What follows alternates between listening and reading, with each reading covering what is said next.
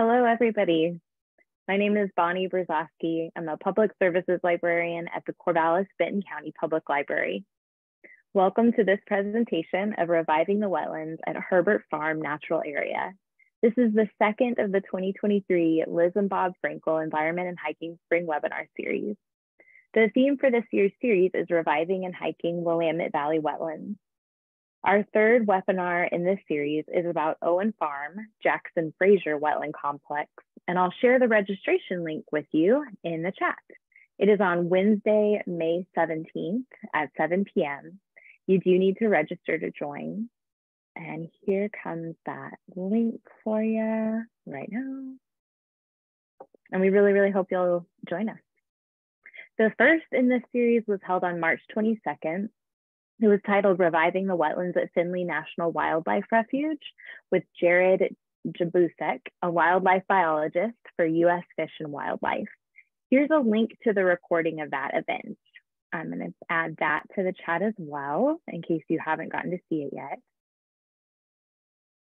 So just a note that that link that I just shared, it's an unedited and, compu and computer captioned version of the event. The finished and human captioned version of this event will be posted on the library's YouTube page, probably within just the next few weeks. Here's a link to our YouTube page. I'm going to share that as well. And one of the reasons I want to share is because we have so many other great virtual events that you can watch and catch up on, um, especially others in the Liz and Bob Frenkel series from previous years. So as I'm sure you've noticed, we are using Zoom tonight. Please feel free to submit questions throughout the presentation. We will try to answer those at the end.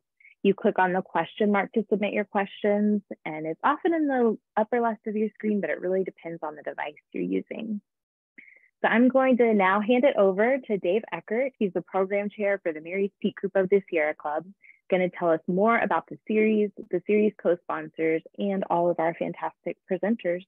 So Dave, take it away. Well, thank you. Can you hear me, Bonnie? You sound great. Okay, then away we go. Thank you, everybody, for coming on here and hope you can see the, the screen now. And um, so obviously, like Bonnie said, we are going to be talking about uh, Herbert Farm natural areas and the regeneration of it from uh, agricultural land. And um, and want to thank Owen Dell for this wonderful photo he he uh, let us use. Um, and as Bonnie also said, um, this is a part of our annual Liz and Bob Frenkel Hiking and Environmental Spring Lecture Series. Uh, if you didn't know Bob and Liz, I really feel sorry for you. These were very, very special people who had an impact locally, statewide, regionally, and nationally on the environmental and on hiking issues and um, on, on a very big way, the kind of big way you don't see anymore that people have this kind of influence and they, they used it wisely and, um, and very strategically. Also, now I want to honor the uh, Ampinafu, uh, uh, Ampinafu Kalapuya uh, culture and people. We live in, in the Corvallis Philomath area, in the Marys River watershed area in uh, Champinafu. Uh, and this is Kalapuya land. It is Ampinafu Kalapuya land. And uh, the culture is still alive. The people are alive. And it's very important um, that not just the acknowledgement, but the relationships um, develop further. And um, the people you'll be hearing from tonight have been doing a wonderful job um, working in collabor collaboration um, with the Confederated Tribes, the Grand Ronde, and the Confederated Tribes of the Siletz. So thanks to them and everybody who's building relationships. Um, one of the co-sponsors uh, that started the series is the Mary's Peak Group of the Sierra Club. That's who I represent. I'm the program chair.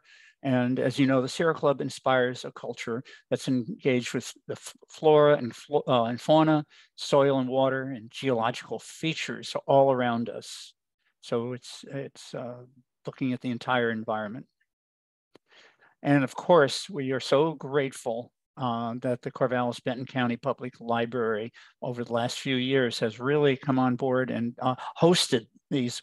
Uh, when we when we started um, uh, going online, um, they stepped forward and said, "Well, we're happy to do this," and we've been working with Bonnie ever since, and uh, it's been just a wonderful collaborative relationship, and uh, it's really worked well for all of us. So, thank you, Bonnie, and the library. Um, I want to uh, alert you to a few uh, uh, uh, opportunities you have if you haven't already taken advantage of them is um, these have come up in past uh, webinars. If you haven't seen the nine minute video Damned Oak Creek, just go on YouTube and type in Damned Oak Creek. I, if you haven't seen it, it's it's more than worth the nine minutes you'll spend watching it. It's right here in Corvallis, and it's a unique film about uh, uh, human dams versus beaver dams. Also, as Bonnie said, you can see uh, like the three um, webinars we had two years ago in this series uh, about, a, it was called the gift series, is the, the uh, you know, the Frenkels had left a lot of money for Bald Hill Natural Area, Mary's Peak, and the Jackson Frazier Wetland, and what that means and what's happening with that. And um, then we had another uh, series on um, uh, called the Beavallis series, series, and um, and uh, talking about beavers locally, regionally, and nationally, and worldwide, actually, um, to a certain extent, and the impact they have on our whole environment and climate. You can see that on YouTube. To go to the library website or just go to uh, YouTube and type in Beavallis. Um, and we happen to have uh, a t-shirt we made from that. And um, I've had so many orders, I need to make another order, but I need 10 more orders before I feel comfortable enough to put the order in. So you can email me. My email address is right there, deckard at willamettewatershed.com. Just send me an email and I'll tell you, send you info on it. So, uh, as uh, Bonnie said, uh, here's another Owendale uh, photo of Finley, and we had a wonderful um, um, presentation uh, last month. And I, if you haven't seen it, please uh, use the link that Bonnie gave you and go on to it and, and watch that. It's spectacular. And um, the same thing tonight. I should go back to the um, previous one is on Finley.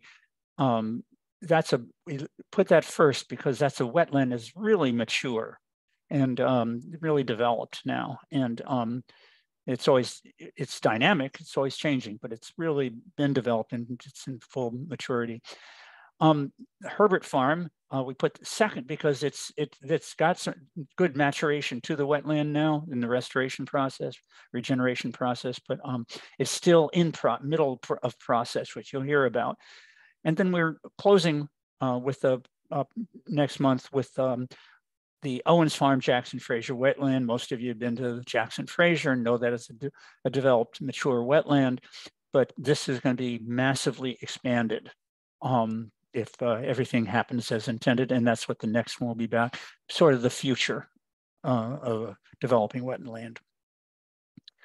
Tonight, very excited to introduce you to three great people. Um, Jude Geist, this is his second time on for us in this series. He was on two years ago uh, related to Bald Hill. And um, Jude has been the Parks Division Manager for the City of Corvallis for over 10 years. And previous to that, he was uh, for 12 years with the City of Salem as a GIS tech, a Parks and Rec area specialist, and then as the Parks Supervisor and we're glad he came here. Um, he graduated from Bowling Green State University in environmental science and re received his master's in wetland management plus city and regional planning from the Ohio State University. And Jude is the city's natural areas and wetland um, manager and expert. So he's the go-to person in the city for all things wetland and natural areas. So thank you, Jude. Uh, we look forward to your presentation talking about um, the city's role in in owning and um, uh, managing uh, Herbert Farm. Now, Tom Kaye, many of you know, um, he's the executive director and senior ecologist at the Institute of Applied Ecology. Tom manages the day-to-day -day operations and supervises programs. He specializes in habitat restoration, invasive species control, endangered species reintroduction, population dynamics of plants, population viability analysis, monitoring, and conservation planning. He graduated from the Evergreen State College and received his master's degree and PhD from OSU. Uh, he has worked for the U.S. Forest Service, National Park Service, the Oregon Department of Agriculture's uh, Plant Conservation Biology Program. And as an associate professor at OSU Department of Botany and Plant Pathology, Tom supervises graduate students and provides guest lectures. Tom is a rock star in the field of natural resources restoration and is known nationally for that. So we're greatly honored to have Tom. Sarah Aleka is a restoration ecologist with the Institute uh, with their in habitat restoration programs, where she writes, coordinates, and implements natural resource plans to restore native Oregon habitat. She studied ecology at Columbia University then obtained her master's in restoration ecology from Simon Fraser University with a focus in botany. And her work has spanned the country from restoring oyster beds in New York and high altitude wetlands in New Mexico to restoring tall grass prairie in the Great Plains and bog wetlands in the Pacific Northwest. Sarah also manages the restoration of Herbert Farm Natural Area and will do the main major speech to, uh, presentation tonight. Now, keep in mind when all we're so glad to have Sarah, by the way. this is very special. And um, after Sarah is done, then Bonnie will come back on and uh, we'll be fielding the questions that you have written in. Again, use the Q&A. Um, so answer only using Q&A. Please don't use the chat. Um, and you can put those in throughout the whole talk, to any time during the talk, and Bonnie will pick those up and collate them and and try to get through as many as she can. So get your questions in as you think about them. And uh, okay, so I am um, now done and I'm gonna sign off and um, turn over to Jude Geist. Thank you, Jude. Right. Uh, thank you, Dave, for inviting me uh, to give me a time to uh, talk about Herbert Farm Natural Area. I'm going to try and share my screen real quick.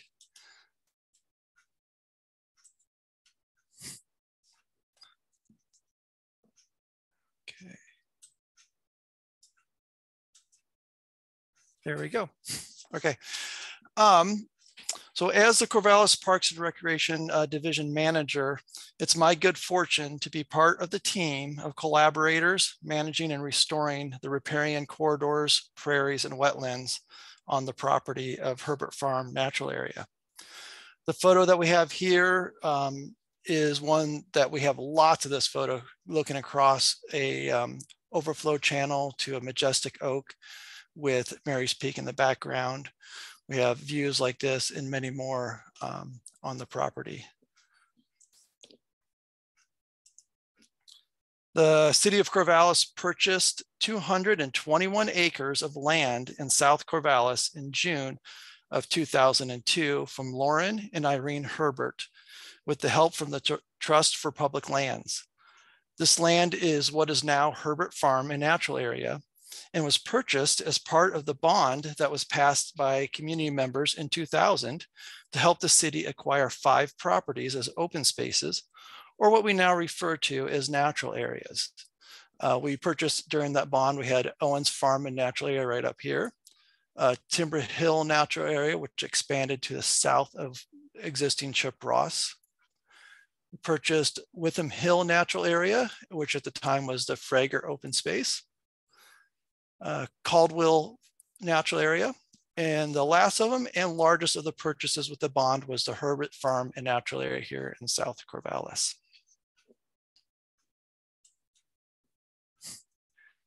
Herbert Farm and Natural Area is located um, on the south side of town. Uh,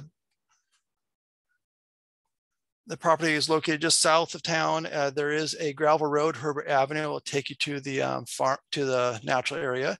You'll want to go past um, Kiger Island Road, turn right at a little uh, storage yard, and then go all the way down the gravel road, and that'll take you to the first parking lot. And there's another small gravel parking lot at the end of the road.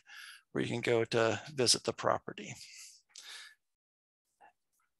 In addition to the bond, the city used grant funds from the Bonneville Power Administration and that were funneled to us through Oregon Department of Fish and Wildlife to purchase and protect what is now Herbert Farm Natural Area. ODFW has continued to support Herbert through funding of restoration projects over the past 20 years. The confluence of the Muddy and Marys River is located on the west boundary of the natural area right here. The Muddy River flows up from the south and along the boundary of the natural area, Marys comes in from the west right here. They join up and the Marys continues to form the rest of the west side and the north boundary of the property. There's also this man-made uh, overflow channel that goes through the property, cutting it between the west side and the east side.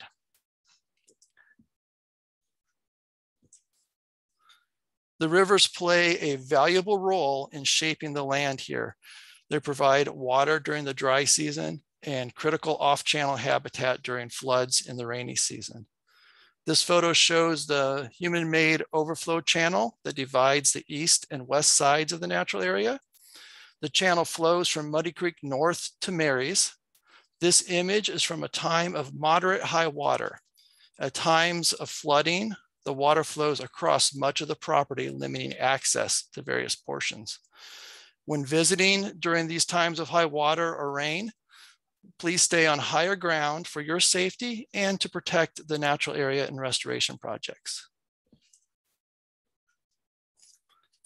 When when the property was originally purchased, it contained nearly 200 acres of active grass seed fields, such as the one in the picture here. This is looking at the corner of Herbert Avenue. Uh, looking off towards the west, you see Marys Peak in the background. In the past 20 years, the city has partnered with many groups, including Oregon Department of Fish and Wildlife, Bonneville Power Association, the US Fish and Wildlife Service, the Institute for Applied Ecology, Confederated Tribes of the Grand Ronde and Confederated Tribes of the Siletz, and others to preserve and protect and restore Herbert Farm Natural Area. Today, all of the original farm fields have been restored or in the process of being restored to riparian woodlands, wetland prairie, and upland prairies through the hard work of our partners. The management and restoration are guided by the Herbert Farm Management Plan and the Herbert Farm and Natural Area Restoration Plans for Phase One and Phase Two. This is a photo of one of the um, three controlled burns we've had on the west side of the property. Um, we've tried to do burns each year the last 10, um, but we're successful about one out of every three due to availability of our partners at fire. Um, sometimes they get called off to other emergencies across the state. Herbert Farm and Natural Area is a treasure and an opportunity to see natural area restoration in action. While there are currently no developed formal trails, Herbert Farm is open to the public for your enjoyment, and I encourage you all to come visit. There is limited parking at the two gravel parking lots. As you saw on a previous slide, the first is located on the east edge of the property as soon as you pass a high water gate. And the second is at the end of Herbert Avenue um, and the probably midway through the property. When visiting Herbert, we do ask that you park in the available parking lots and do not park on the side of the road. Oops. And this is why. Um, Herbert is home to the streaked horn lark and they use the fields and the road, the field edges along the side of the road for their nesting sites. So we wanna make sure that we keep uh, vehicle traffic to the gravel roads. And we also watch where we walk when we walk along the edge of the fields.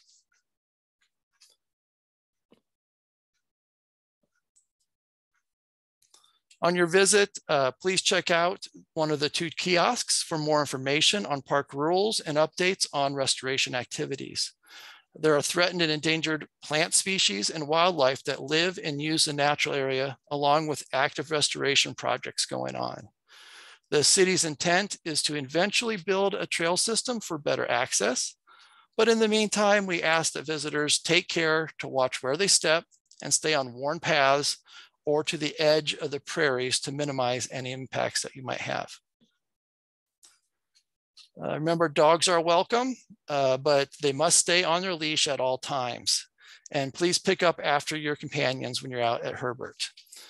Uh, vegetation is protected in all of our city parks and natural areas, so please do not pick or remove flowers or other vegetation so that others may enjoy them.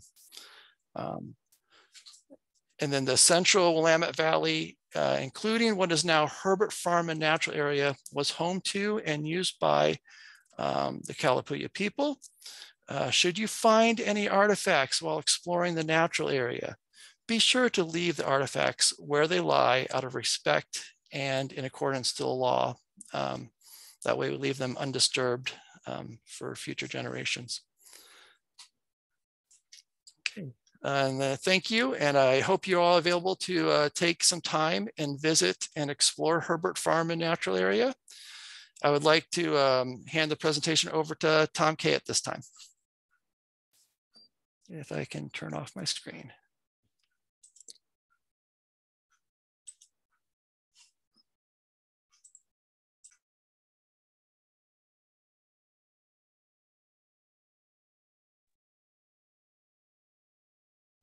Tom, unmute yourself. Hey, yeah. I think you might be unmuted, Tom, but for some reason we're Okay, not getting sorry, the had There- another, another mute device that held me up.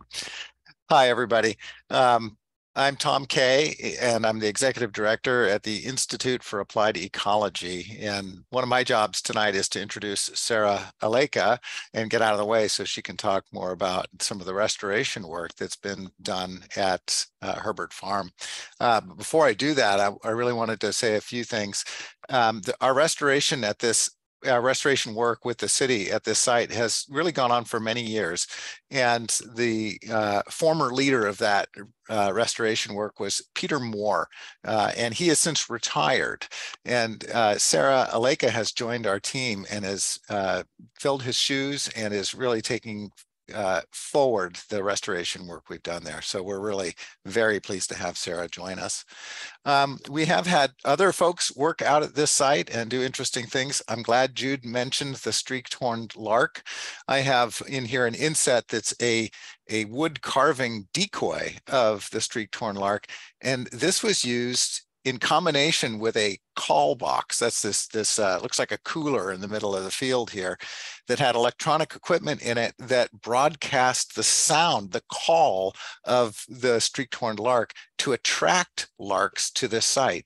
And putting the decoys out with that really did actually attract birds, probably from the Corvallis airport, to come to this site and nest successfully. And once they do nest, they tend to be, the progeny tend to be very faithful to the site wherever they were born. So this was an effort to get the streaked-horn lark to start using this location, and it was successful. We don't have a lot of larks left in the Willamette Valley, but fortunately we have a few now at, at Herbert. Um, this is a treasure, uh, as Jude mentioned. Herbert Farm is a is a wonderful place. It has upland prairies, wetland prairies, riparian forests. It, it it's really diverse, and uh, Sarah will tell you more about that. These photographs are from the upland prairie part. It's a part you can't get to except for when the the river or the muddy creek uh, goes down enough that uh, the water allows you to pass over the the channel and into this sort of hidden prairie, pocket prairie. And it is home to many wildflowers now after uh, uh, many years of restoration, in, including uh, the golden paintbrush, which is a yellow flowered thing in the middle of that picture, and three different species of checker mallows. Uh, there's this uh, pink one on the left in uh, below the oaks, but there's also two here on the far right. One here is this is called Nelson's checker mallow, and this is currently listed as a threatened species. And this is a field checker mallow, which is a sensitive species also. And then we also have Kincaid's lupin in the upper left of this little uh, quartet, and that is a, a, threatened species, and it also happens to be the host plant for an endangered butterfly, the Fender's blue, although there are no Fender's blues known from this site at this time. And then finally, the peacock larkspur is this white and blue flowered uh, plant here. There are many other butterflies and, and wildlife species that use this site, deer, western pond turtles. Uh, this is a great place to go birding because of the diversity of habitats. So I really think of, of Herbert Farm as a, a hidden gem for, of Corvallis, well, really underappreciated. Um, the, wildflower viewing there can be really a lot of fun, great place to take photographs, etc. This, this plant here in June is called uh, the Farewell to Spring or Clarkia, uh, named after Lewis and Clark. And uh, the, the meadows there are, are rich and lush uh, with iconic views of the Corvallis landscape. And so we're, we're really pleased to be able to work with the city and with the Oregon Department of Fish and Wildlife, the U.S. Fish and Wildlife Service, the Oregon Watershed Enhancement Board, and many other partners uh, to restore this site. Uh, the most significant for us is our relationship with the Confederated Tribes of the Grand Ronde, and we've been working with them at the site to ensure that the kinds of plants that are restored in this landscape are of cultural significance and that the tribes have cultural access to the site as well. So uh, it's, it's my pleasure now to introduce to you Sarah Aleka, our restoration ecologist in charge of uh, restoring Herbert Farm. And I think it's quite appropriate that this is a library theme, uh, library sponsored event, because Sarah, I'm going to out you here. Sarah is a published novelist. I encourage you to uh, Google her or check her out on Amazon. And uh, uh, uh, so now, Sarah, I'm going to turn it over to you and, and thank you very much, everybody. Hold on. Thank you so much, Tom. That's a very nice introduction. I'm going to share my screen here. Um, so yeah, I also want to thank, uh, thank you for mentioning um, Peter Moore, because I learned so much from him um, starting off in this role. And he was the one that led uh, the restoration of this site for many, many years. Um, and so I'm just really uh, filling his shoes or trying to fill his shoes. And so I'm happy to talk about the work that he did over the many years of this project. So Herbert Farm, uh, like everyone mentioned, is 221 acres. And one of the most exciting parts about this site is that it has such a diversity of habitat. So you have uh, oak woodland, uh, oak savanna, prairie, both upland and wet prairie, and then riparian areas. And many of these habitats are endangered and rare in the Willamette Valley. And that's because of uh, the change of habitat that we have um, done to it. So historically, these sites uh, were managed by fire. And so we know that the Kalapuya used fire to maintain openness. And once uh, colonists came to uh, Oregon, the fire was restricted. And so a lot of these prairies were lost from shrub encroachment. This photo is uh, from one of uh, the projects that Jude mentioned of burning parts of Herbert Farm to try to promote that um, open prairie habitat.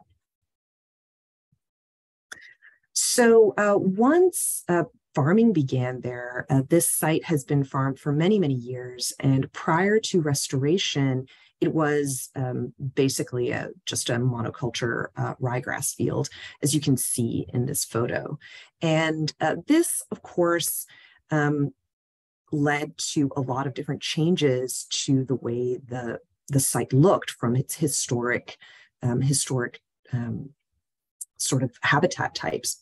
So I wanted to take you back to 2005 uh, to before uh, the restoration project began so you can get a sense of what it started at. So here you can see in yellow uh, the border of Herbert Farm. And you can see just the amount, even just from this picture, the different types of habitats that you can see. So uh, obviously these large fields um, as upland prairie and wet prairie. And then also along um, the edges of Mary's River, uh, you can see riparian areas of um, sort of small vegetated uh, riparian edges. At this time, there wasn't that many, that many of them. Um, Muddy Creek runs along um, the southern portion, and you can see there's quite a significant um, oak woodland and uh, oak savanna in this area as well. And then Jude mentioned Matt Creek, the little um, sort of stream that kind of runs, uh, that bisects the site. Uh, and this also uh, really shows how the site was used for farming that often in many areas of this picture you can see that the site was farmed all the way to the edge of the water. So there really wasn't much of a buffer between um, the farmed areas and the river. And you can particularly see that here in this little sort of outcropping of where uh, you have sort of these trees in the middle of the field and then kind of farmland all the way uh, to the edge of the water.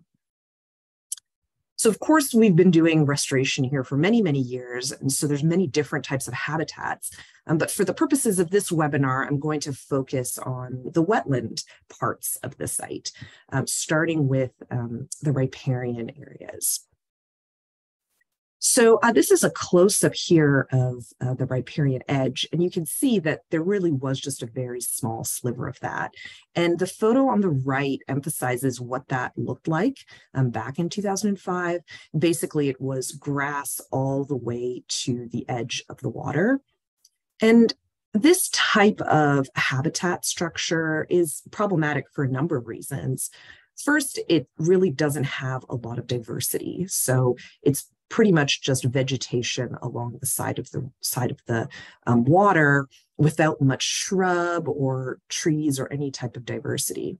And because of that, um, the banks erode because there really isn't any kind of root system to hold the soil together. And as the banks erode, this creates sort of deep channels on the side of the river, which allows for more sediment to go into the water. And then this, of course, is problematic for fish and other aquatic species. This photo doesn't show it, but there was also um, many invasive species uh, growing in the riparian areas, um, primarily reed canary grass and blackberry. So, one of the ways to counter all of these um, problems that I just listed is planting.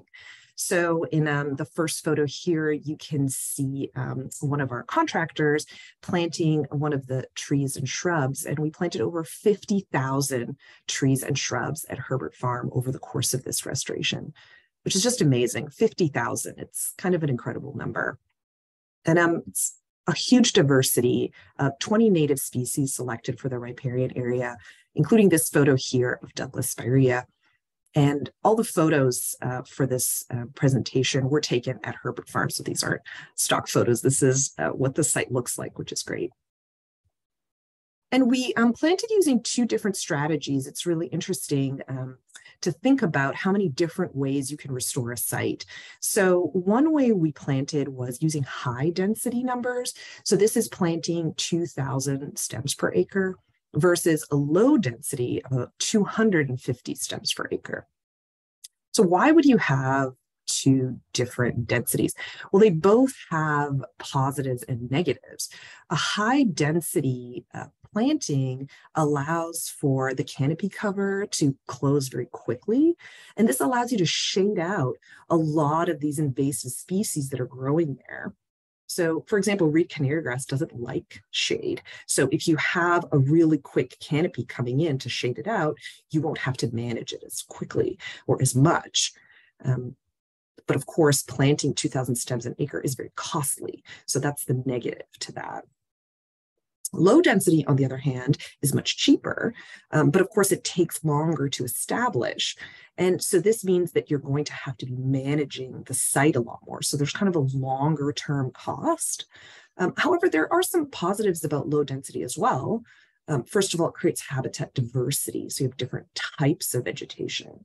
Um, but also it means that some weeds and some invasive species can actually be managed because you actually have space to get in there and spray them or manage them or pull them.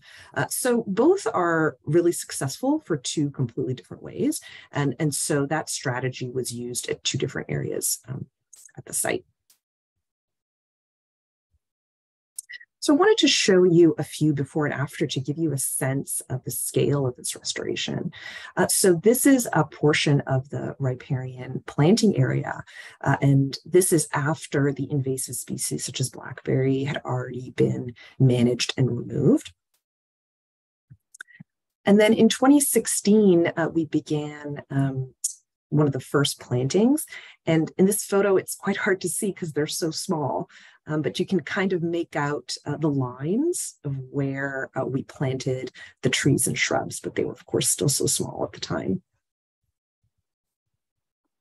Then in 2018, you could already see uh, the riparian area starting to establish, and uh, the tree in the far left corner is starting to be a little bit more difficult to make out. And then by 2022, the change is quite dramatic. Uh, in fact, the photo point is no longer visible, and that tree is just peeking out from the top left that you can't make out. Um, so it was quite a lot of work to get this type of vegetated cover. And from an aerial perspective, just to give you a sense of the scale of this project, because it's hard to picture 50,000 trees and shrubs. Um, so this is that same close-up that I showed you earlier where you can see the trees growing in the prairie. And again, that little arm jutting out um, and being farmed all the way to the edge of the river. And in 2022, you can see the drastic transformation. So again, here are the trees, and then these are all the planted um, shrubs and trees at high density planting. So you can see the canopy cover is almost complete. Uh, and then you can also see in this aerial the low density cover. Uh, so that's um, to the right of the trees. Oops, sorry. To the right of those trees, you can see sort of hashed lines, and that's where our low density planting is. So still in the process of establishing, um, but it also again creates that uh, different um, diverse types of habitat, uh, which enhances the site for, for both wildlife and for different plant species.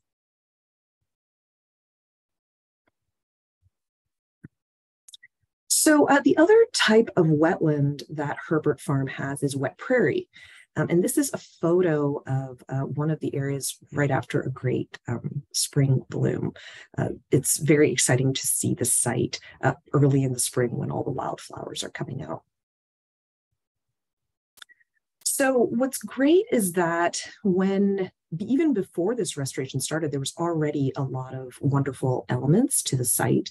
Uh, so first, there was already uh, existing wet prairie and low-lying areas, which you can see in this yellow sort of marked out area.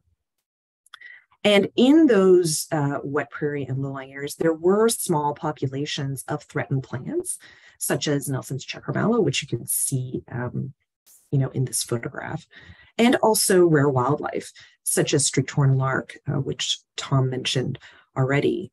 Uh, and so there was already some, some great features that could be enhanced through restoration. But of course, there are also problems. Uh, of course, there's always problems um, with any um, strengths, there's always the weaknesses. Uh, one, of course, is the invasives. So Himalayan blackberry uh, and many others. Uh, this is a photograph here of uh, one of the before photos where it's just sort of a wall of Himalayan blackberry. And then, of course, there was little native diversity because the site was a ryegrass field. Uh, so we were limited in the type of native species, and a lot of those needed to be augmented. And then, because there was so little native vegetation. There was also little opportunity for wildlife habitat, and the farming practices limit uh, the type of species that could live there. So we wanted to work on all of these elements, and the restoration plan focused on achieving objectives in these three areas. So I'm going to talk through each of those.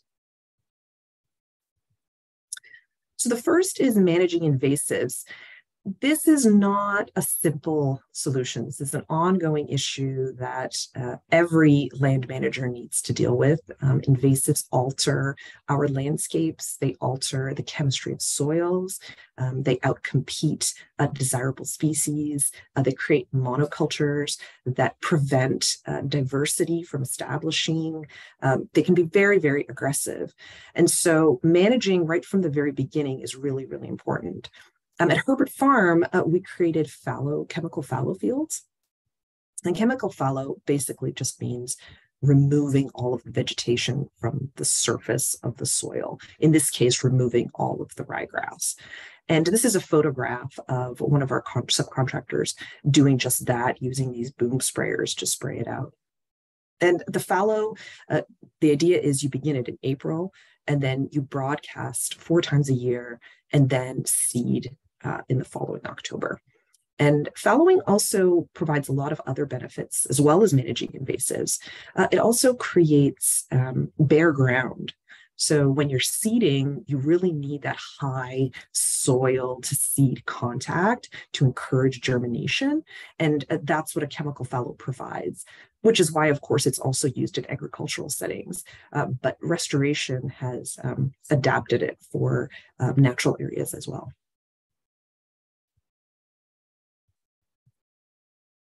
Then, of course, once you fallowed, it's about bringing back some of this diversity that had been lost through the use of the site as an agricultural field for so long.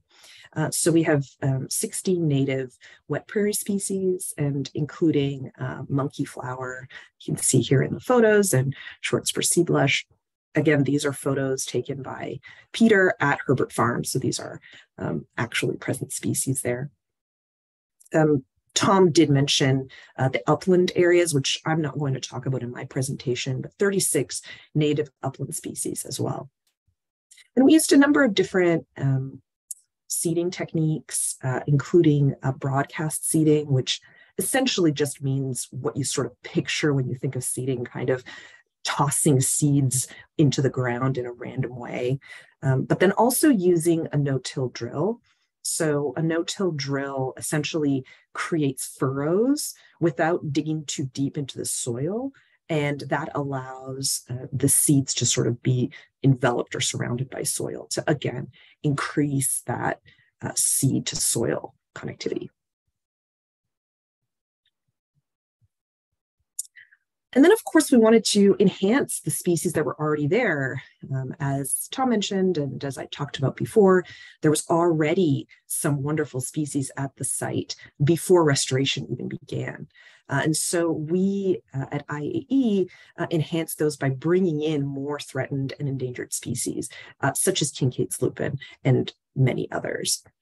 And it's quite a task to reintroduce and to enhance threatened endangered species simply because they're not commercially available. You can't go to the store and ask for the endangered species to plant in your backyard. Uh, and so this brings into a whole other um, part of the Institute for Applied Ecology's programs, which is to grow these species for restoration. I mean, so on the left, uh, you can see some of the Kincaid's lupin that was grown at uh, the OSU farm, um, which uh, the Institute for Plant Ecology uses. And so these are painstakingly grown in the nursery, and the seeds are collected um, in the wild from um, healthy populations uh, to create these plugs uh, to plant at Herbert Farm. And as well as um, threatened and endangered species, we also planted many, many, many culturally important bulbs and roots, um, such as camas and yampa. Um, and we grow those uh, with the Confederated Tribes of Grand Ronde. So the photo on the right is actually from the nursery at the Confederated Tribes of Grand Ronde, where they grow many culturally important species. So it's a really great partnership, and we're very happy to, to work with them to reintroduce many of these plants that were historically present. So again, just to give you a sense of uh, what this uh, process sort of looked like in 2013, you can see uh, Marys Peak in the background and the ryegrass monoculture. And then in 2014, this is after the chemical fallowing, where we removed all of the vegetation to create that sort of clean slate uh, to, to begin restoration. And then in 2016, again, you can see Marys Peak in the background. Uh, this is after we've seeded uh, with native plants. And you can see a lot of this flush of sort of that first year growth that happens after the first seeding. And then the same view in 2022, just last year. And again, it's interesting to see this uh, as the site changes and develops over time. So when you first seed, you often see uh, annuals and species that are adapted to disturbed ground and open ground. And then as the site progresses and changes over time, you see the the introduction and the development of more perennial species that take longer to get established. And so now we're seeing um, Herbert Farms slowly transitioning into these more mature environments, which is very exciting. Um, as for creating wildlife habitat, um, we really focused on the streaked-horn lark, which again, um, Tom mentioned uh, earlier. This is this cute little guy here in the photo on the left. And uh, the interesting thing about the streaked-horn lark is they like to nest on open ground, sort of like this photo in the background of the bird photo. You can see it's just sort of dirt. And that poses a problem for natural areas because obviously natural areas are vegetated. So the idea at Herbert Farm was to create berms. So uh, using this photo here uh, with an earth mover, the idea is to scrape the soil and create berms that retain water. And the idea is over the winter, they fill up with water. And then when spring comes, this water prevents plants from growing. And so when the water slowly recedes, that leaves bare ground um, that then the streaked-horn larks can use for nesting. To give you a sense of what that looks like in 2005, uh, you can see where there were sort of these low, naturally low lying areas, even within the ryegrass fields. And those were used and expanded upon so that in 2022, you can see these much larger berms um, that were that were constructed for the streaked-horn lark. And so you might be asking, well, she said she she was going to talk about wetlands. Why are we talking about this bird that likes to um, nest on open ground? Uh, well, that's because uh, the berms hold water seasonally, uh, which means that in the winter and in the spring, it actually creates this beautiful collection of wetlands in Herbert Farm. And I just took this photo uh, just a couple of days ago. Uh, and of course, just as I walked into this, huge flock of um, uh, wetland birds flew flew away as I, as I walked in. So uh, it's really a great place for um, seeing uh, waterfowl and other water loving birds um, during the winter and spring months. And then, of course, uh, when the water recedes, and uh, the drier months come, um, so do the wildflowers. Uh, so this is uh, this berm uh, later on in the year when um, you know all the the monkey flower has um, has bloomed. So it's really great all year round to come to visit. And so to give you a sense of uh, the sense of scale of, of this restoration, here again is the uh, yellow border outline in 2005. And again, you can see uh, those line of trees that I pointed out earlier and the little wedge sort of where um, sort of uh, they were farming up to the water line. And then also these sort of dr- sort of drainage ditches uh, that were naturally there um, as low points. And then in 2022 you can see a huge transformation of the site um, where again that's those line of trees and you can see how the riparian forest is now has a very big buffer along Marys River um, here, and then of course where the uh, vegetation is, and then of course all along other parts of the river as well, um, up here in the top portion, which um, I didn't zoom in on, but uh, of course there's a lot of planting there. And then also here in the lower left corner, where we also planted shrubs and created uh, more of a vegetative buffer that's slowly growing in and closing in canopy. And then, of course, the uh, wet prairie areas, which you can see uh, to the right, um, where these large sort of berms are, and uh, the uh, streaked-horn lark habitat and um, the seasonally inundated wetlands. So, uh, where do we go from here? Um, restoration is never really complete. We're constantly uh, changing and adapting to um, new challenges. And certainly, something that Herbert Farm will face and most of Oregon will face is the arrival of the emerald ash borer, which is this uh, quite beautiful um, green insect um, in the top picture here. Uh, it has arrived in Oregon in June 2022, and uh, it kills ash trees. Um, it has almost 100% uh, mortality of adult uh, ash. So if an ash tree gets infected with these um, borers, it dies. Uh, so of course, the um, riparian areas in um, Herbert Farm will definitely be impacted by this. And so the question is, what will happen from there?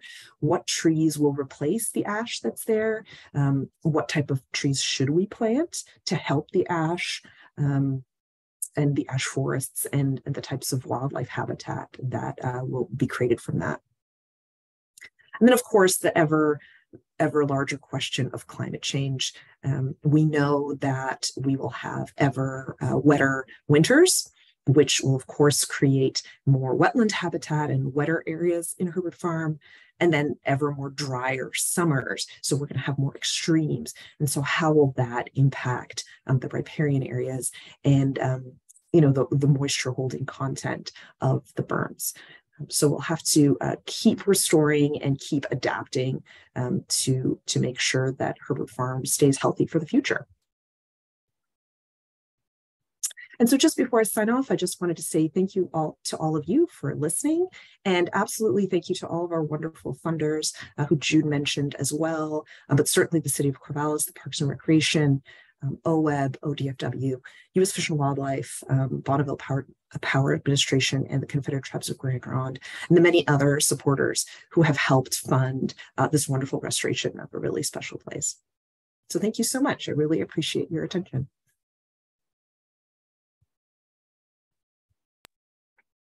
Great. Thank you so much, Sarah. That was wonderful.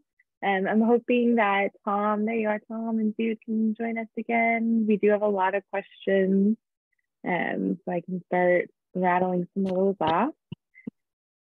Um, I'll start with this first one from Lynn. Um, I'm concerned that the public and ignorance will let their dogs run free, trample plants, etc. Not to be a pessimist, but um, how to counter this behavior is this behavior an issue yeah this can be an issue at really all of our parks and natural areas throughout the system. Uh, at herbert we've taken two approaches um, both have to do with signage. One is more of an informational sign that shows the picture of the streaked-horn lark. It has a little bit more um, verbiage on the hazards or dangers to the lark that your dog off leash will, will um, pose. So that that sign is to get towards the, the person that's going to read it and say, oh, okay, I don't want to cause damage. I didn't know this was an issue, and they'll keep their dog on leash. Um, knowing that that signs work for some people, but then we also have signage that have the phone numbers of the animal control officers, and it's a little bit more of a direct um, keep your dog on a leash and it's the community policing since we're not out there our, our um, park users out there far much more than my staff um, we rely on the general public if they see a dog asking to put on a leash if they, they call the animal control officer just having the sign there with that potential um, of having officer coming out there i think helps as well um, there's no foolproof but that that's sort of what we've tried um, to address the issue that's really helpful. Thanks. And John directs this question to Sarah and Tom. Does Herbert Farm contain populations of Willamette daisy? Is there an ongoing monitoring of restoration effects? If so, with the focal interest in vegetation, are digital data available to the public for download? And where might that data be accessed? A lot of, a lot of questions. Tom, you can go ahead. Yeah. well, Mexican standoff here. Um, uh, so first off, we, we do some monitoring of the general vegetation out there and that those results are are in reports that we prepare. There's no there's no downloaded database or something like that. And uh, at this time, I don't think we have Willamette daisy at uh, Herbert Farm, but there are a number of other listed species. And um, you know, because of the sensitivity about the locations of endangered species, sometimes that information is not widely available on the internet. Um, but you know, certainly yeah, we're we're interested in in conducting field tours now and then, and so you know we we can stop by and look at some of those species if we're out there live. But but we don't put that online very much. Good question though. Thanks. Thank you. And Sarah, how much of a contribution do you tend to see from native woody species from natural colonization? And has that ever affected your density outcomes significantly? So it, I'm assuming you mean in the naturally, um, it's sort of in the in the areas that we planted, how what kind of naturally occurring species are coming in there. Um, not very much because we manage the planted areas quite heavily. So the, as I mentioned, that low density planting area needs to be maintained for a longer period until it gets to a substantial size, which means that we actually mow in strips along the side of uh, the shrubs and the newly planted trees. Um, and that mowing is to prevent grasses and other plants from overtaking the shrubs and reducing their growth. Um, but of course, that mowing also means that it takes out uh, the natural um, establishment of other species that would normally establish there. Um, so we sort of prevent that inadvertently through our maintenance efforts. Thanks. And LaDonna asks, what is the best time of year to visit for views of wildflowers, keeping in mind the safety of the plants and animals? It's great all times of year. As I said, you have beautiful um, sort of wetlands uh, during the winter, so you have a lot of bird species. And um, but of course, for wildflowers, I would say uh, June and July are probably the highlight months uh, where you have probably the most diversity of species. And I'll put a plug in for May. I think May for many of the upland plants, the May is a great time of year. Uh, even now should be pretty good for a lot of things, but this is a cool wet year and we're seeing about a 10 day delay in a lot of plants flowering. So things are on a, a, a, a I don't know, a delayed schedule. Thanks someone else asked, how many years of treating invasives before you were able to plant cedar shrubs? So in this case, we were really lucky because we were working from an active ryegrass field.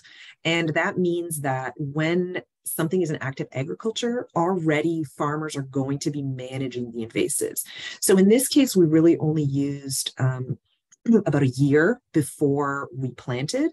In other situations where there wasn't already active farming and there had already been a very high invasive species seed bank, that could take up to three years or more. Thank you. Well, I think there are a few questions actually that were kind of on this note. Just wondering about chemical fallowing as whether or not that's a responsible environmental practice. And they're just wondering about using that as an approach to habitat building and restoration. This is more sort of a larger question. I don't know, Tom, if you want to field it. Well, no, it's it's a really good question and one we're we're very sensitive to and, and think a lot about. Um, it, the use of chemicals in in my uh, perspective for land management at this kind of scale is really like uh, taking antibiotics or chemotherapy. It's it's not something you do uh, on a whim. It's something you do very carefully, and you follow the prescription carefully, so that you use the right amount for the right period of time, and then cease using it or use it as a uh, only a, a, modest or very small um, uh, follow up. Now, I think it's possible to get to some of the restorations we've done without the use of herbicides, but I've never seen it done. I think it's possible, but we don't really know how to do that yet.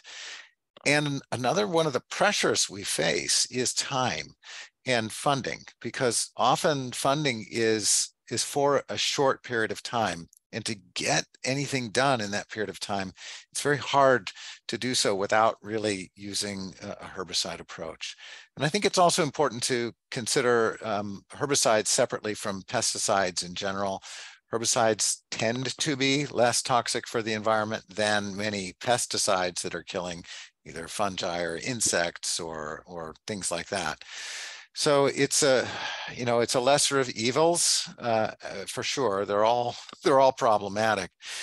But uh, one thing that we do know is that with the courses we we follow and and doing things carefully and, and kind of by the book, we're able to use the herbicides and then stop using them and see very massive changes in the vegetation and the wildlife quality uh, at the sites. So you know, that's, I guess that's an apologia for uh, the use of herbicides. Um, at this point, we, we don't have much better techniques to really get the impact we're looking for. Thank you. Um, John asked, Sarah and Tom, do you use fire and or water management to emulate periodic disturbance to maintain wet, dry prairie and vernal pools? Yes, uh, we do. And again, this is something that uh, Jude mentioned. Uh, we try to do this as often as possible for fire, but again, just logistically, it sometimes just doesn't happen. Um, there's, of course, many factors um, coming into that. And as for water, yes, water is exactly the um, uh, the strategy used for creating um, the habitat for the streaked-horned lark. So yes, that's a great example of a um, herbicide-free way of managing vegetation. Yeah, I'll jump in. Um, uh, Sarah's right. We we really looked at that closely with those berms, and we wanted to create habitat for the streaked-horned lark, knowing that it it wants those disturbed areas and the bare ground and needs those for nesting.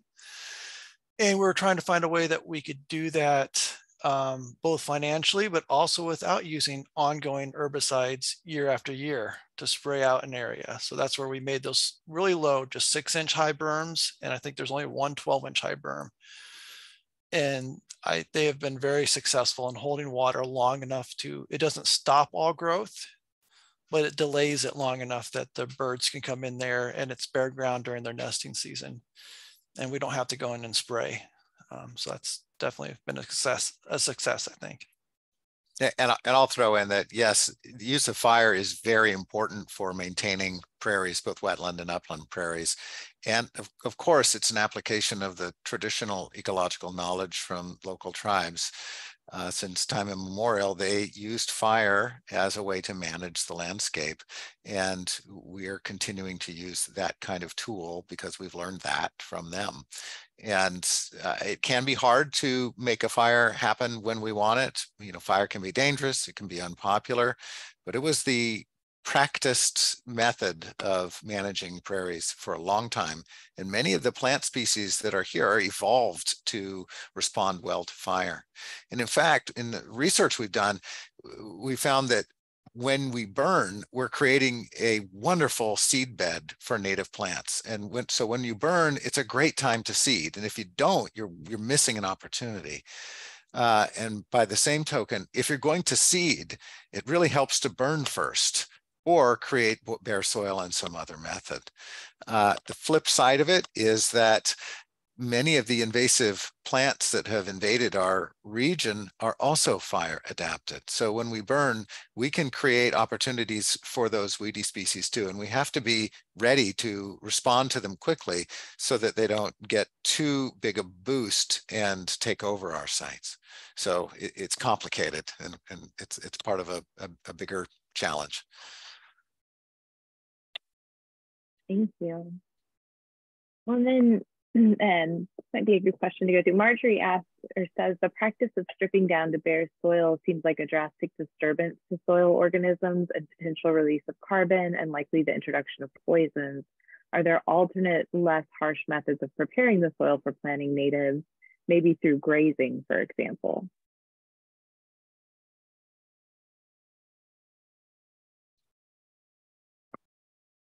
Do you want to go ahead? yeah.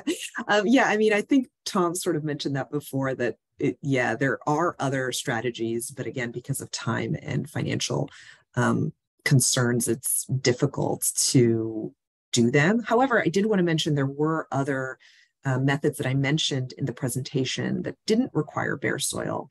So there were areas at Herbert Farm that already had existing threatened species. For example, those areas were not um, fallowed because obviously it would then kill the existing endangered species.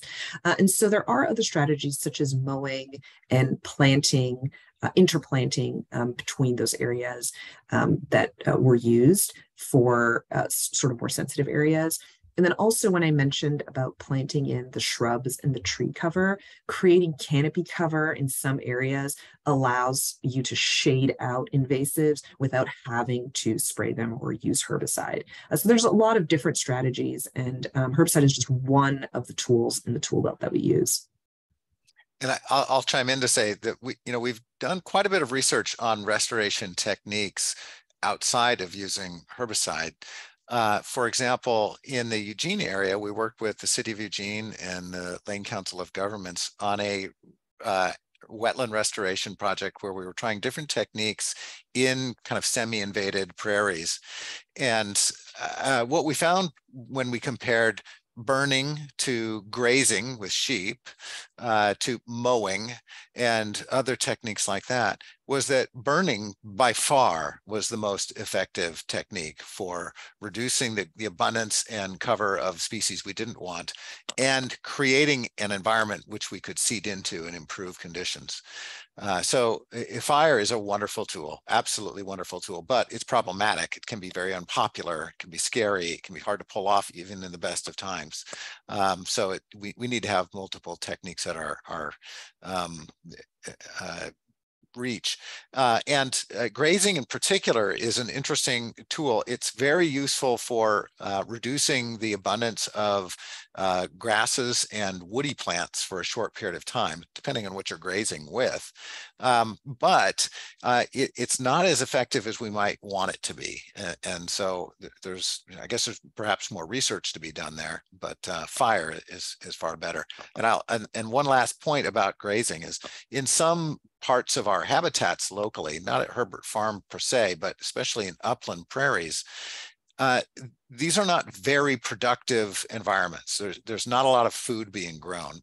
Uh, it, and so at the densities we tend to see used for grazing as a restoration tool, sheep can actually lose weight while they're out there grazing. So there are limits to how far we can push some of these, these uh, uh, alternative tools, especially grazing. So I'll, I'll stop there. Oh, that's great. That, that question came up in a lot of different ways. So thank you for really thoroughly answering it. It's really appreciated. Chris says, I noticed and that there was still a ryegrass in a 2013 photo was the site maintained in ryegrass until everyone was ready to begin the restoration effort? Um, I'll jump in there a little bit. Is the city acquired the property again in 2002, um, but we didn't have funds right away to do restoration. Those those initial um, legacy grant funds from ODFW purchased land, but we didn't have restoration dollars. So it did stay in ag um, up until about 2012, maybe 2011, we first went in there and started pulling back some of the areas. And I think Tom was here before then, so I might have the exact dates. Mm, not off the top of my Um, head. Yeah, but but we made a conscious decision to keep it in active farming um, because we realized that it was already like a monoculture and it would be far easier to restore from that point than if we had stopped the agricultural use and left it unmanaged for that initial nine to 10 years that the city owned it before restoration began, in which case you'd have um, thistles and other very aggressive um, Yeah. invasives come in. So um, we, we de- made it determined from the city to leave it in ag. Um, city was able to raise some funds to help maintain it that way. And then uh, once we came up with a plan with ODFW and the Institute for Applied Ecology, and everybody came up with an idea of how to restore, then we were able to start implementing these management plans. Yeah, that that's exactly my memory too, Jude. And I would say also that the the restorations were sequential. They they came in in phases. So we didn't try to attack the whole site at once. We we took bites that we could manage one at a time. Uh, so in those photographs, you may see some areas that don't change as much as, as fast, but um, over time they all kind of get brought into the management. So, and, and Jude's exactly right. I mean, if, if the place had been just left as a a fallow grass seed field, it would have been much, much more difficult to restore. Uh, and we wouldn't be where we are now. I think we'd have intense weed problems still. So um, that's one of the advantages when doing restoration is, you know, the easiest kind of land to restore is agricultural land that's currently in agricultural because weeds are under control in those sites already. So. Thank you. And is there any hope for a biological control of ash borer? Hope Um, springs eternal. Yeah. um, our urban forester, um, Jennifer Killian, has had a lot of experience with um, emerald ash borer back in the Midwest originally when it first attacked trees in Wisconsin. It's eternal right now. They don't have a good biological agent. There are some um, chemical agents that you can apply to your tree, but they really individual tree specific and you have to reapply every couple years. So you'd only want to do it if you had a like majestic tree that you're trying to save because they're quite costly. Um, unfortunately, what we've seen across the United States is when the bug arrives, um, it's just a start of a matter of time before we'll probably lose um, 90 to 95% of the ash trees across the state. So Wow. Where can we find the list of the 16 native wet prairie species? Yes, all of our uh, annual reports are online on our website, appliedeco.org, and you can just type in uh, Herbert Farm Annual Report and you will find our seed lists and all of the plants that have been planted there over time. Oh, thank you. Um, Kathleen asked, how far do the trails go into Herbert Farm? the official trails stop at the parking lot. um, we do have an idea, a plan to put trails in there so we can manage where people go. Um, you can go all the way back right now, um, especially during the drier time season. Um, during the spring, when that Muddy Creek channel is flowing, you're pretty much limited to the east side of the property. It flows pretty fast across there. It's um, even when it looks low, it ends up being about chest deep, so you don't want to try and cross it. Um, but once that um, subsides, you can go across and get all the way over there to the confluence of the Marys and Muddies. Um, we just ask that people stay to the sort of unofficial, the deer trails, if you will, that people have made around the edges of those prairies, um, the ecosystem, so you don't go traipsing directly through the prairie, then that's where you're going to risk um, trampling the uh, endangered starting um, flowers, but also bringing in anything that might be on your shoes and stuff. So if we keep people to those edges, like the the boundaries between the riparian area and the the open prairie, that's what we would like to prefer. And then hopefully in the next five to 10 years, we can get a plan together and get some official trails to sort of guide people where to go on their experience.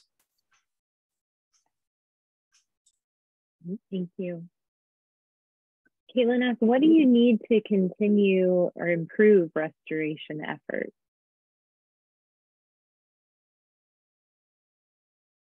Well, uh, that's a great question, and and right now we're we we are pursuing additional funding to keep restoration at the site going.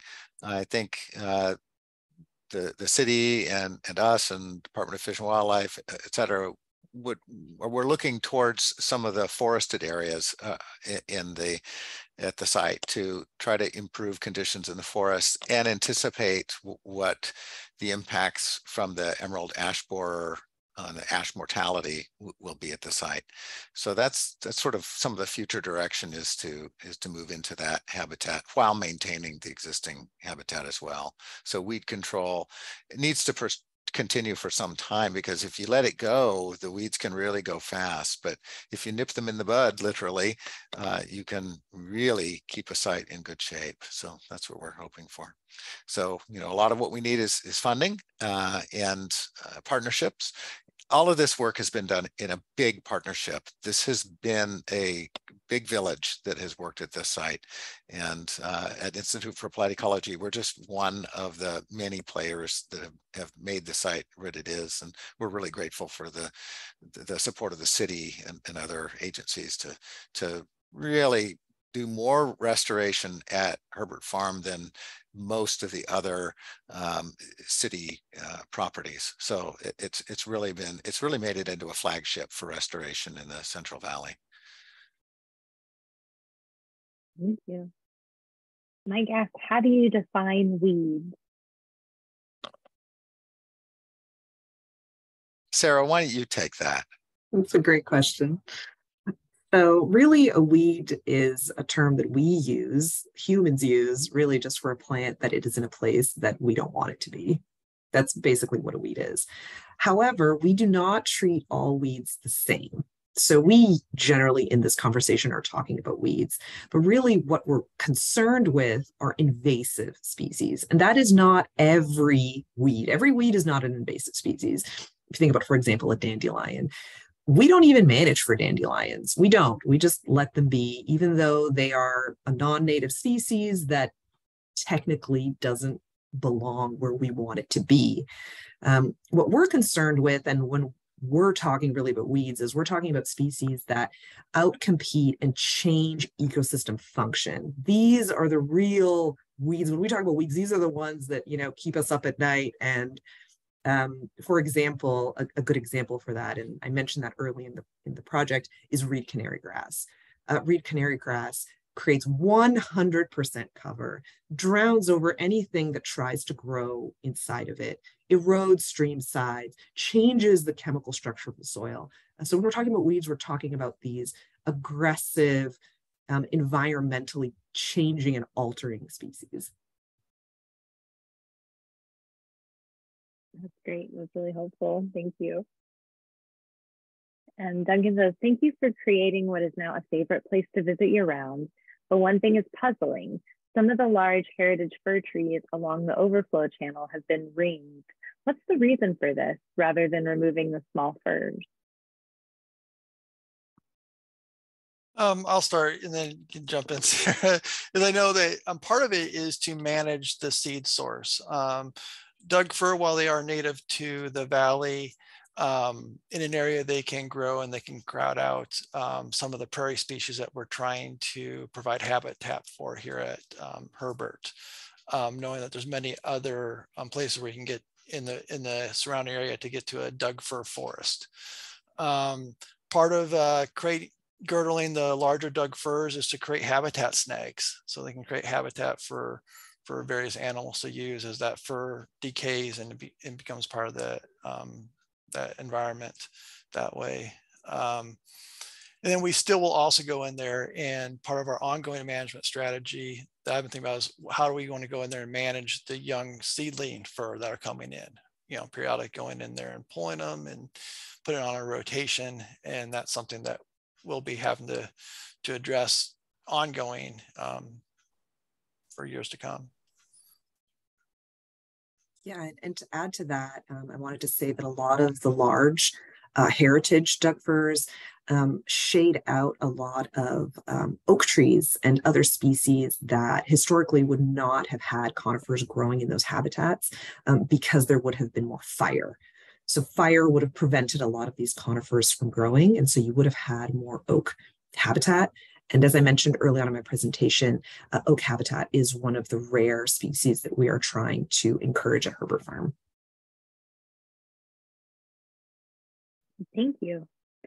Minette asks, what tree species are you planting in anticipation of the demise of ash trees? I've seen Pacific yew on the site. Are you planting them? This is the million dollar question, uh, which we don't really have an answer to what to plant yet. Um, we are not planting Pacific yew, um, but I can imagine probably what will be common will be more willow. Um, but it's really anyone's guess because this, this, the habitat is going to change dramatically once this species is no longer there. Uh, so I think this is going to be a really a restoration question for many years to come. Thank you. Karen asks, what role does the Herbert Farm property play with the County Prairie Species Habitat Conservation Plan? Um, Herbert is one of the properties that the city owns that is part of the habitat conservation plan. Not the entire property, because um, when that plan came into effect, um, 200 acres were still uh, farmland. So basically it's those remnant prairies that Sarah mentioned that did not get um, chemical fallow, the ones that were sort of running along Muddy Creek. Those areas are all part of the habitat conservation plan. Uh, we monitor the plants. We go in there, do uh, plant counts every three years to see it, uh, how the endangered threatened species are doing, if they're um, expanding, contracting, and then how we might have to adjust our management strategies to uh, maintain for those. And, and, I'll add that uh, having Herbert Farm there uh, creates opportunity for expanding those populations through uh, um, planting more species and, and, more numbers of them. And, and, so we're able to leverage what the HCP did to conserve spaces and also then add more to that. So it, it's that plan really has helped us define where are the areas to do conservation and then see that conservation happen. Thanks. Um, this story or this question came up a few times in a variety of ways. On the opposite side of the road, there used to be a pasture grazed by sheep. That area is now a hazelnut um, tree farm. I imagine they use pesticides. How does that affect Herbert? Um, how do other farming uses on other sides of Herbert affect your work? Well, uh, hopefully, if they are doing their herbicide applications um, properly according to the label and the law, they shouldn't have drift over onto our property. Um, we haven't noticed any of that there, at least not to extent where we've seen damage. Um, that's something we would we will do keep an eye on. We try to be good neighbors back and forth, encourage um, park goers to not um, venture out into the hazelnut orchards. And likewise, um, they've been good neighbors and not just with keeping any applications they have to do from uh, drifting onto our property, but um, not crossing with their vehicles. You know, we did have some issues at one point with um, farm vehicle, vehicles from grass seed farms, we believe, that were crossing the property after restoration. Um, and so we've had to work with the, our neighbors to let them know how that's that's damaging, even though it might have been past practice for many decades. Now that those um, fields at Herbert have restored, is important that they do not just cross them with their ag ag machinery. They take go the long way around, if you will, and avoid the the natural area. And, and, I'll throw in there about uh, hazelnuts is, you, you know, um, uh, yeah, I didn't see that coming. I don't know. Uh, many of us did that there would be this wholesale flip from grass seed farming to hazelnuts, at least in, in many parts of the Willamette Valley. And that has changed some of our landscape. And uh, even grass seed fields do have some wild animal value right? Um, even streak-horned larks are thought to be able to reproduce in some grass seed fields as long as the, the harvest and mowing and treatments are timed right, because they create low open soil areas.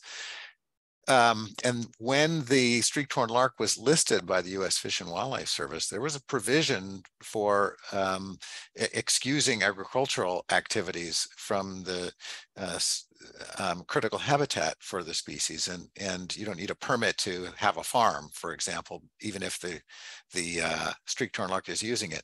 But that was in the context of grass seed fields, not in the context of hazelnuts. So things are changing, and it, it is causing some concern uh, about uh, uh, how wildlife can interact with different habitats. So, you know, that's just one example of how how uh, yeah, the conversion to hazelnuts is is an interesting uh, switch and um, and it is pretty uh, herbicide or chemical intensive. So you know, there's reason for concern. Thank you. Um, is Oregon white oak habitat present? Yes, there is. There's both um, Oregon white oak woodland and Oregon white oak savanna, which again is uh, one of the rare habitats in the Willamette Valley. So we're very excited to have that there. And uh, one of the reasons why we remove some of the conifers to protect that habitat. Thank you. I, think you may have addressed this too, but I'm going to ask it. Are there camas growing? Amy asks. Yes, yes, lovely fields of camas. And actually, um, I was just out there yesterday and I saw the camas coming up right next to the first parking lot. Um, so come back in a couple of weeks to the first um, parking lot and you'll see a beautiful uh, sea of it and thanks for asking that, Amy. Uh, that is one of the species that is incorporated into the restoration in, in part because of relationships with the confederated tribes of the Grand Ronde to see uh, important culturally significant uh, plants become part of the landscape there. And camas, of course, was a food plant that was eaten by Native Americans. So we're we're really happy to see it coming up and, and flowering now and, and getting better established. That's wonderful. Well, and Juliana and a few others just said um, that this is really beautiful work you all are doing. Thank you for this presentation. Um, a lot of people didn't know we have such a beautiful place in Corvallis, so thanks for bringing this to our attention. And I think that's all for the night. And thanks again, everybody. We really appreciate your time. Thanks for organizing everything, Dave. You're muted, Dave. Okay, I was just saying thank you, everybody, for uh, all the great work you're doing. And um, we support you and want to collaborate whenever we can. Thank yeah, you. thanks for everybody who came tonight. It's it's really great to be able to share this story. And, and thanks, Dave, for putting it together. And thanks to the library for hosting. I second that. Thanks a lot. Thank you. Thanks, everybody. Hope to see y'all May 17th. Take care, everybody. Good night. Good night.